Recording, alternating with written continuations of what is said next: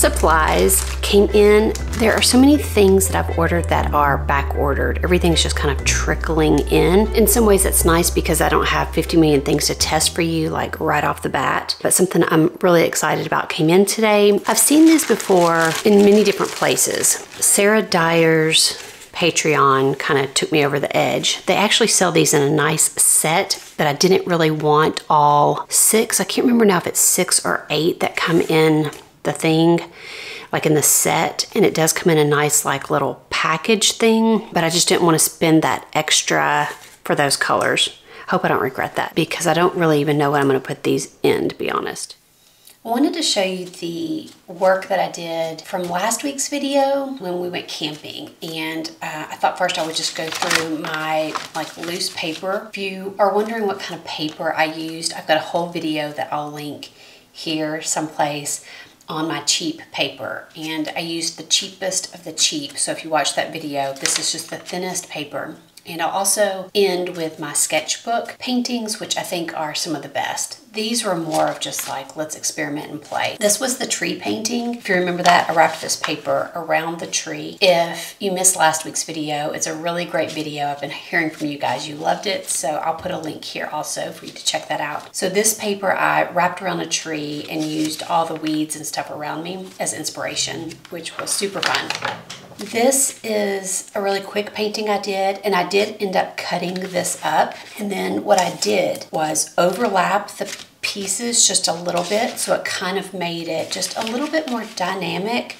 And then I glued all of that onto another piece of cheap paper, and then the blank spaces that I had left over because obviously this paper wasn't the same size at this point. I just added some color and it has a nice weighty feel to it and I think turned out really cool.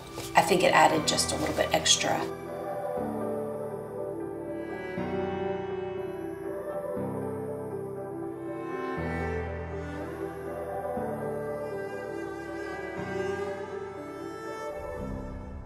These were the colors that excited me. It's the Artgraf Viarco Tailor Shape and these are basically inks, I think, and block. Is that what they would say? I'm not sure. It, maybe I should have read, uh, read up on that. I don't know. But I do like them because they are like inks. They're so, so packed with color. But they're dry.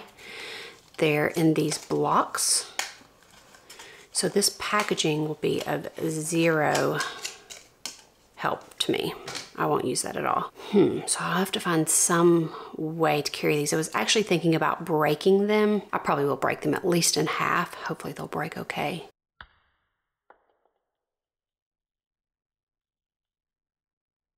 They're actually kind of heavy. I thought this could just be nice to add to my set of dry materials.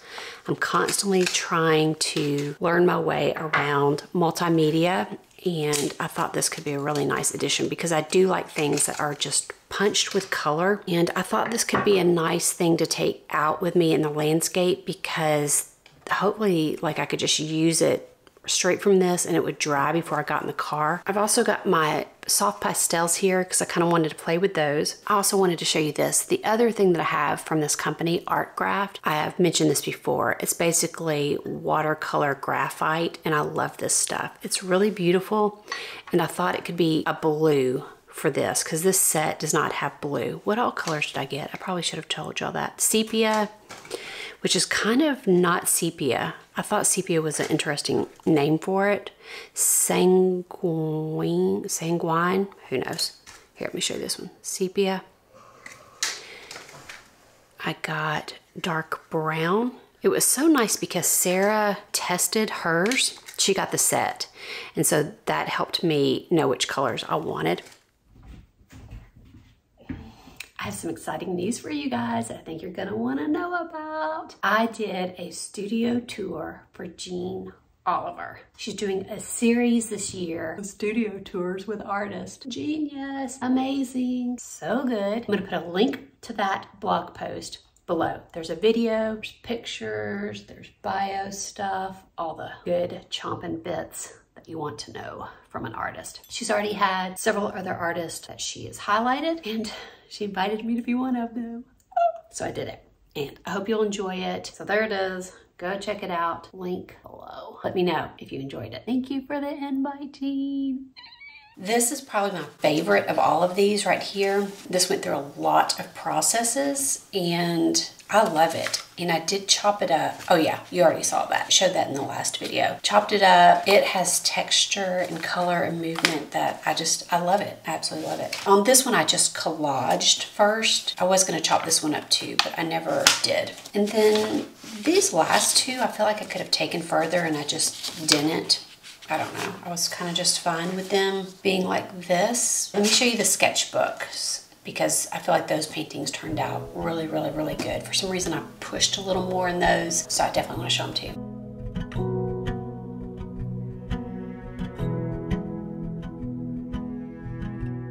So this is what this looks like. And I do like this for like clouds and sketching. It's really nice. So let's go on and get some of this down. And I like it because you can either get it really dark or lighten it.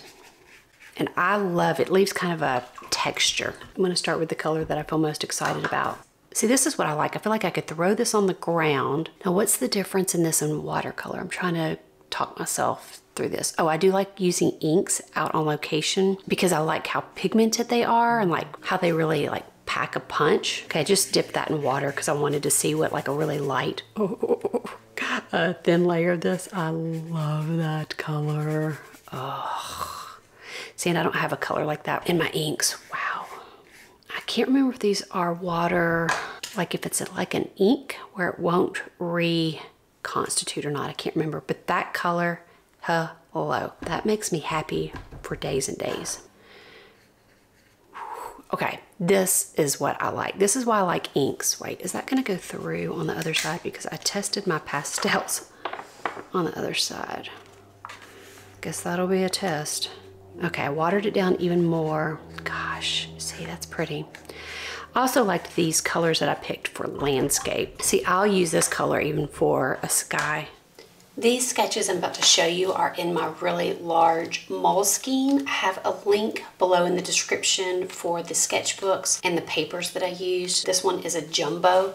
I mean, there's my arm to give you an idea of size. I'm not gonna be showing you these in order. They're just kind of as they are in each sketchbook. I really like the movement of this water and the colors. This was a fun one color palette in this was quite different, but still moody and pretty. I think this should also give you an idea of how just one scene you can play if you'll just pick a scene and zoom in, zoom out, add more sky, add more water or a field or whatever it is. This is one I did from a book that I was inspired by that I took on the trip with me. I was just at the campsite and use the book as inspiration. I think this is one that I said that I didn't like at the time and that I thought you guys would like, but I do really like this now, like a lot. I like all the texture and moodiness. I think it turned out really well. Then for some reason I skipped a page. Was that a bug?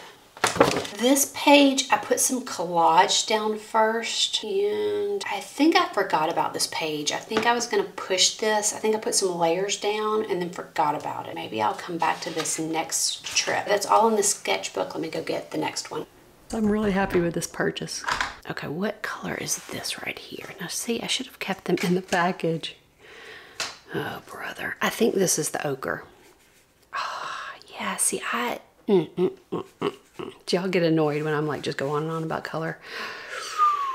That is gorgeous. I feel like these are going to be a gorgeous landscape set. Ooh, and let's see what it does. I bet we can get a nice orange. Yep. Mm-hmm. Gosh, wow. Ooh, that's that's punchy. You gotta just barely dip in that. I think I could even use these in the, in the car. Okay, this is the sepia. Look, you can already tell how non-sepia, but kind of like a dirty. yes, these two yellows. Yes, yes, yes. Hello. This, mm -hmm. this to me could not be a better color set right here. If this had a blue, like a dirty blue that you could get dark, make darker or lighter, this would be like the perfect set. And then this is what color? Dark brown. And I liked it too. It's got a nice moodiness. And then let's thin it down. See, that would be nice as a sky. And I bet I can pick some of that up. Yep, while it's still wet. See, this would, you know, work as a sky because it's kind of gray. So basically this whole set are warm colors though. But if I had those and then either used my inks or, or my ink Inktense blocks would work really good with this. I am interested to see if they're going, if they're bleeding through. Ooh, because that will be a bonus if they don't, if they're not bleeding through because inks bleed through so bad. No, they're not bleeding through. Oh, the other thing you're supposed to be able to do, but I, I won't, I know me, is you could draw with them also. You can use them dry. I mean, I say I wouldn't, but maybe I would. Okay, this is another really large Moleskine, the largest one that they make. I love the moodiness and the colors in this. I absolutely love it. This is the one I did upside down in my sketchbook, which really annoyed me. Uh, that was from another trip. I think y'all have already seen that one. That was another trip. This is one I did at the campsite and I opened up my sketchbook or another sketchbook and used another painting of mine to paint it was really hot. It was in the middle of the day, so I just sat there and worked on this. I think this is from another trip. I can't remember if I did this one this trip or not. I don't have it dated for some reason. Okay, that's all in this sketchbook. Let me go get the next one. Let's say we're out sketching and I want to do a little bit of a sky. With a little bit of this. Like I said, we were going to try something that I really can't remember now what I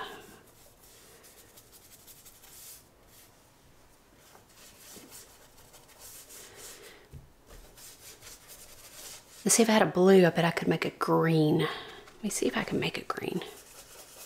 Ooh, I can kind of make a green with this and this.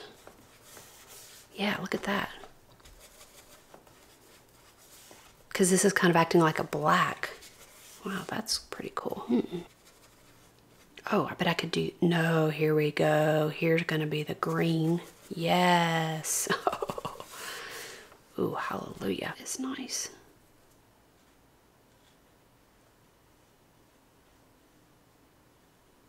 Uh, let's put a little roof on that guy. Oh, let's see how it dabs up.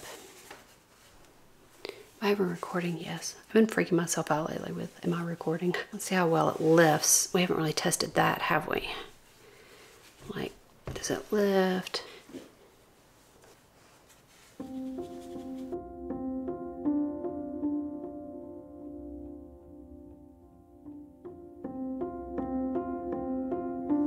Only have two in the sketchbook, but I absolutely love this one. I love the way the trees came out. It felt loose, but mark making. I just was really, really happy with how all that turned out. It was a fun one to do. And then I think I was tired at this point and there were some kayakers out there. I don't know, this one feels a little more a mess and unfinished. Maybe I didn't finish it, I don't know, but there it is. Yeah, I didn't even date it. That's interesting. Okay, let me go grab the next one. Yeah, see if I had my Inktense. Where are my Inktense? I think they're right here. I haven't used my Inktense in so long, I feel like I don't really know even what the colors are. So if I laid some of that down with some of this.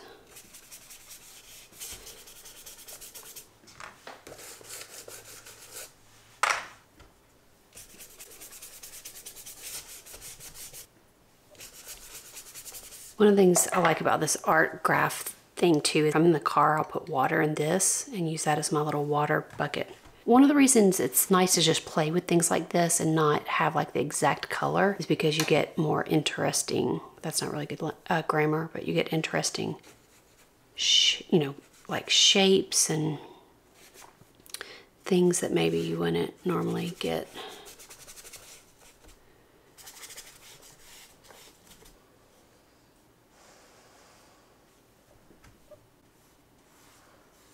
I forgot to leave some sky up here. I was kind of thinking this was gonna be sky. Just kind of thinking of this lake I've been going to.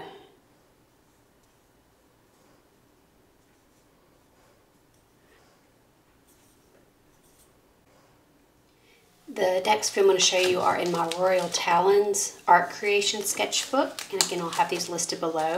I think there's just a couple. I just had a few minutes left, I think, and was just drawing the trees. Um, just really simple. That's all on this sketchbook. This is powerful. Man, that red, woo, woo, woo. You gotta barely dip it. Quite happy. These also, the package that came in was with a ginormo bottle of like literally a tub of paint. Ginormous. And then they packed these delicate things in that same tub. No saran, not saran wrap, plastic wrap, bubble wrap around these at all. Nothing. And these survived. So that tells me these things are quite sturdy, even though they did come in this, but uh, they should have been beaten to a pulp and they weren't. I feel like there's another sketchbook missing but I can't find it. But I did do a lot of abstract work. I've been filling up sketchbooks with abstract work. I didn't do a ton there and I don't know which ones I did because I'm not dating any of my abstract work. I don't know why but I'm just filling up sketchbooks so I don't know which ones I did. I don't think I did regular paintings in any of these. So I just wanted to show you that. On the side here and there, I was doing abstracts. So I did do a ton of work, as you can tell. This is what I'd like to have, is just all the stuff out there with me. Kind of take a, you know, risk of like making a mess, all this stuff. I get off in my own little world here, like playing with these things and forget that we're recording. Actually, must have recording, yes. How's the battery doing? It's okay. Okay, is this dry? It is. My, my guess is they're not re-wettable Oh, maybe they are. Ooh, they, I think they are. Which, you know, if you have inks. So it's like these have the power of ink, but with liftability. Now, I don't know if that was fully, fully dry. What about this? Yeah, I thought I remembered the graph, the graphite. Yeah, you can re-wet those. Hmm, interesting. This dried to a beautiful pink using that really light. I love that. Very happy. That was a great purchase. Great purchase. I hope that was helpful. This morning I decided to set up outside and paint probably a view that doesn't look very inspiring, but there's a tree way up there that uh, has had my attention. So uh, I'm trying a new setup and thought I would try it here at home first. I used my, what kind of umbrella is this? It's a Paint in the Rearser best umbrella. It's a pain to set up. My chair will flop over if I don't have something in it, but it is allowing me to be out here longer. I'm going to see if I could have a simpler setup for painting plein air. This is pretty heavy, but you need something heavy when you're outdoors and it's windy. And then I'm just sitting this in my lap. It's been nice because everything is just at hand and it's not all on top of one another. And then I'm also able to lay out my paints in the correct colors instead of digging through them. So I thought I would try this setup at home first and see if I liked it. And then when I get done with this and get indoors, I'll show you the painting. I'm thrilled with how this sketch turned out and my new setup was really wonderful too. Um, yeah, I'm just super happy with this. I love the marks. I couldn't see everything either because there was sun on this and I used to hate that and now I love it. And can we just take note of all the purple? I never use purple and mm, I'm pretty happy with it. Yay.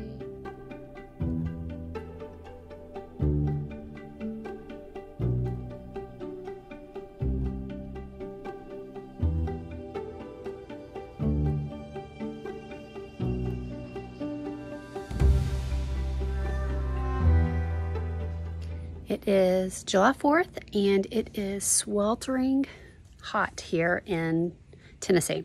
But I was really inspired by the landscape, wanted to get out and paint. I've been at the computer editing all morning, so I just, I'm literally in the bushes uh, in our landscape.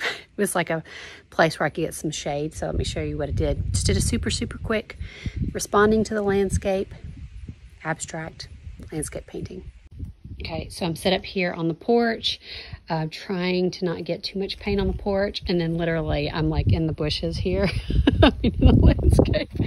And here's what I did. Um, just really quick. We have our mountain that pops up over these green trees. Um, and you can't really tell it right now, but when I'm on the porch that there's a mountain that pops up right there. So that's what I did.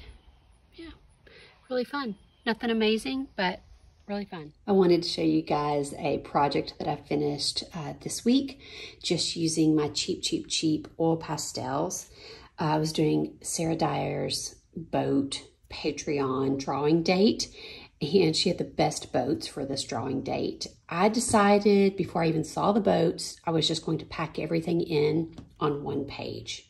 Kind of regretted that. I love how it turned out, but I did want to, I am going to go back and redo it because I loved some of the boats and wanted to put more details in. And then she also had some fun things like fishermen. And there was a random bike guy in one of the pictures.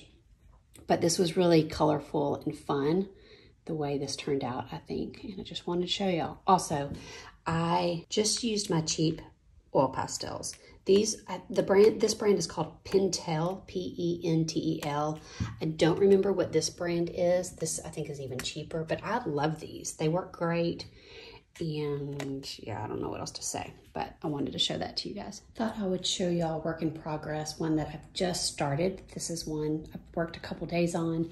I'm doing a series um, of this kind of style from sketches I did um, at a lake, local lake, and I have maybe five to 10 sketches and I'm just using all of them to make these paintings. So right now I've started with this sketch and starting to add things from it. And I'm starting to build some of the houses and rocks and just things. I'm just getting things on the canvas and making marks. Nothing is precious. I mean, even like this. So I started, that's the line of this boat right here. So I'm just putting things in. And then what I'll do is turn the page and use you know, things from another of these paintings. I don't even remember where they all are, but I have a bunch of them. And uh, that's just what I'm doing. So I thought I would show you guys. So even little things like there was a tree that I put here and I did put that, look, you can kind of see it. And it's from here, a tree. And then I took it out. Um, even little bits like this are where I put a tree in and then I didn't like it so I painted over it but you can still see parts of it. So those are the kind of little bits that I put in these paintings.